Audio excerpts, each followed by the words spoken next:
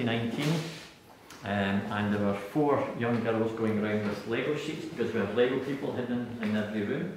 They were in the blue drawing room, and one of them said, I can't find the Lego man in this room. And the other three pointed at the painting of Thomas Kennedy and said, He's next to the painting of the man we saw lying in the bed. now, I was standing in the room going, What? There's nobody lying So bed. I said, What did you say? You told her where the Lego man was.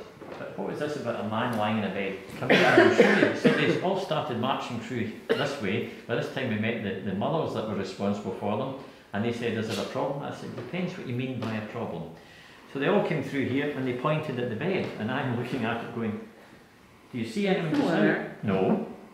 But he was there. I said, But how do you know it was that man? Because he looked like him. And I was like, Don't be stupid. Yeah, of course. So I've got no Oh, answer to that at all, but they were very matter of fact. I then use the, the walkie-talkie and radioed down to everyone else, is there anyone doing a costume interpretation day to day? Because some things we have that. And the answer was, no Bill, what have you been drinking? so I get no answer. Oh. Enjoy the visit.